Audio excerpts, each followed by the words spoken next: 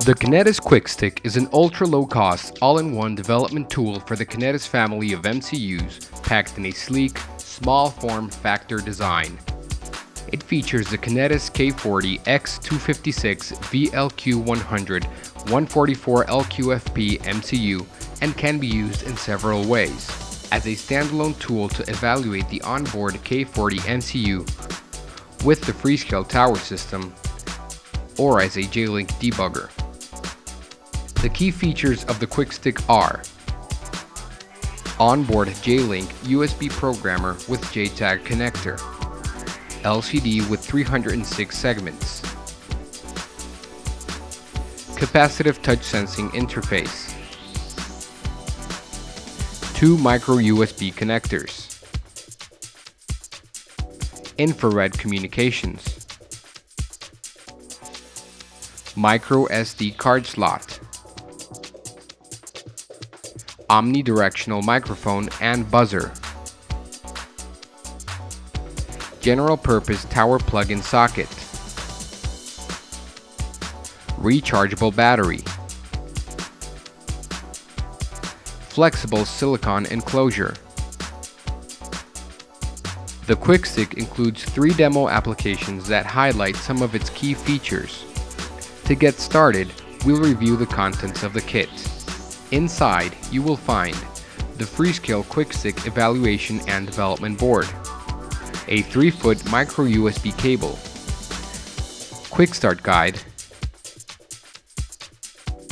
Getting Started DVD, Freescale Technical Center card, and warranty card. The QuickStick can be powered through either one of the micro USB ports located on each side of the board. Use the on-off switch to turn the QuickStick on, and the demonstration software will execute. Navigate right or left between remote control, USB joystick, and sound recorder options using the top right and left electrodes. Select an application by pressing either one of the bottom electrodes. The sound recorder application can record a few seconds of audio using the onboard microphone. By pressing the top right electrode, the QuickStick will begin recording audio.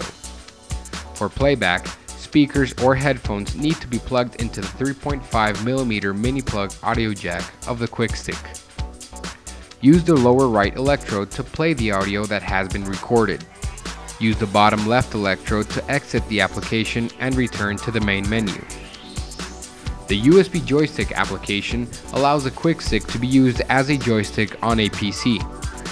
For this application, the micro USB port located on the left side of the board will need to be connected to a PC, which will initiate the enumeration procedure.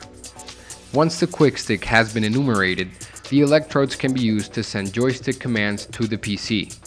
Open the Windows Game Controller settings to test the application. Use the bottom left electrode to exit the application and return to the main menu. The remote control application has pre-stored infrared SIRC protocol commands, which can control most Sony televisions. The commands include power, channel up, and channel down.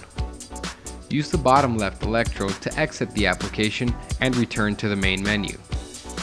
Detailed information of the available hardware interfaces and the demo applications can be found in the user manual at freescale.com slash quickstick.